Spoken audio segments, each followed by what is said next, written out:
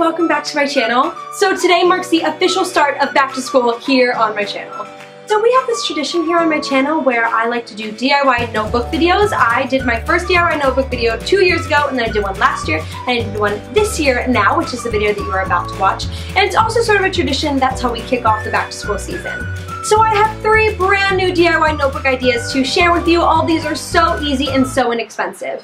But before we hop into this video, I really quickly want to give you a little bit of exciting news, and that is that I am having a meetup next Thursday, which is going to be so awesome. So it's in Culver City, and all of the additional information is going to be right down there, including where exactly it is, what time, all of that good stuff will be right down there in the description. I am so excited to see all of you and hug you and squeeze your faces and just like love on you in person. It's seriously the greatest thing ever, and I hope that you can be there. I also want to recommend that you stay to the end of this video because there might be a little giveaway. And with all that being said, let's go ahead and get into the DIYs.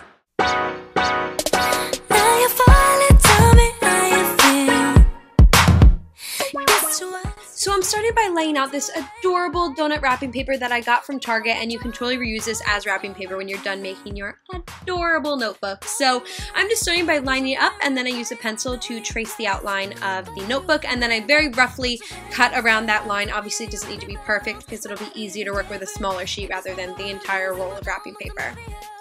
And once I had that cut out, I just cut around the lines that I made. Once again, not right on the lines because you want a little bit of excess, that way you have room for mistakes, but you just want it to be a little bit smaller and more precise than the rough cut that you made just a second ago.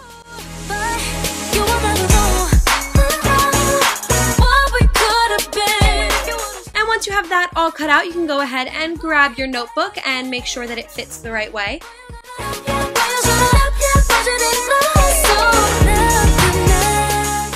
Once you know that you are good to go, you can go ahead and start smearing some Mod Podge onto the cover of your notebook. I just did this all over, and then you're going to go ahead and lay the wrapping paper down.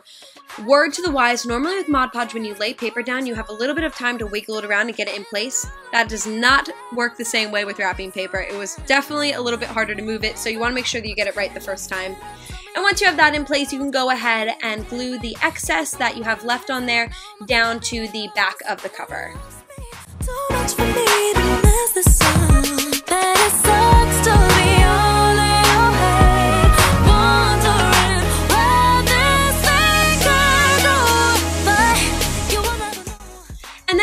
Set that aside to dry and once it is dry I decided that it needed just a little bit of a pop of color. So I went ahead and took some purple washi tape and covered the binding in that. That way it had a fun pop of color that pulled from the color that was in the donuts.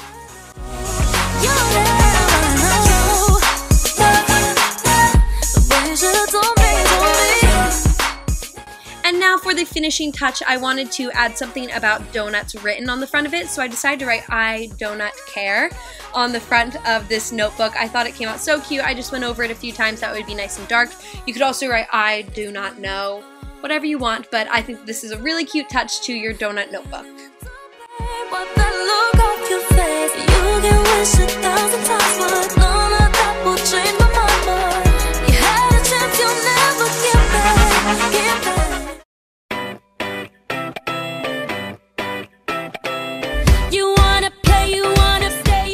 This next notebook is so, so easy. So I'm just taking a gold paint pen and starting by drawing some arrows on the front of it. I just went ahead and freehanded this, but you could definitely use chalk to outline it before you go if you want to be a little bit more precise. And I did the same on the bottom, adding an arrow, and then I decided that I wanted to write something. So I went ahead and wrote, Not all who wander are lost, because I love that quote and I saw it on Pinterest like this, and I thought it was really cool.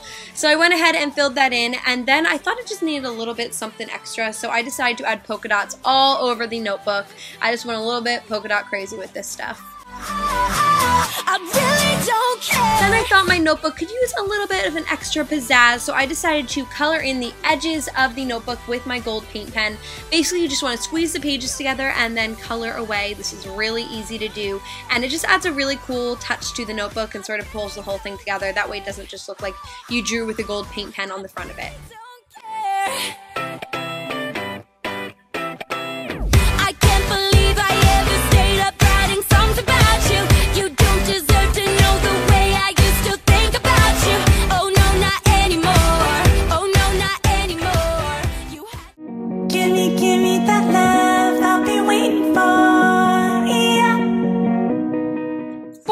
Notebook, I'm starting by taking some glittery scrapbook paper, which I got from Target and comes in big packs with tons of different colors.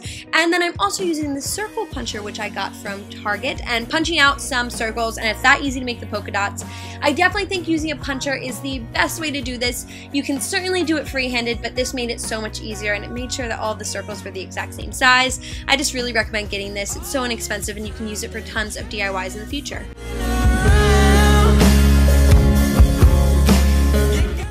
Once you have all the polka dots made that you want to make, you can go ahead and start arranging them on your notebook. This does take a little bit of patience and trial and error until you find a pattern that you really like. It's definitely a little frustrating, but if you play around with it enough, I promise you will figure one out. And once you do, you can go ahead and use your Mod Podge and just start gluing the polka dots down. And that DIY is pretty much this easy. It's pretty cool that you can just use the puncher, cut out some polka dots, and then have a super cool DIY notebook on your hands.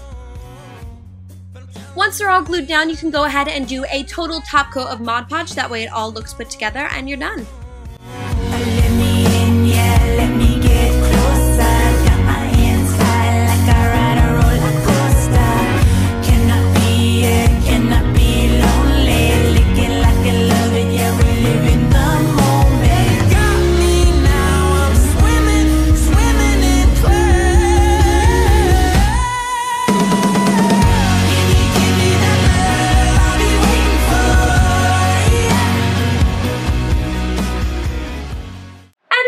Today's video. Hope that you guys enjoyed it. If you did, don't forget to give it a big thumbs up. And now on to the giveaway. So this is something new that I'm going to be doing all throughout back to school season, and that is basically giving away pretty much everything that I make for my back to school series. Since I just graduated from college, I don't need any of the stuff that I'm going to be making, so I want to give it to you guys who actually do need it. So all the rules and how to enter are going to be right down in the description so you can go read that and make sure that you enter the giveaway and the winner will be announced one week from today.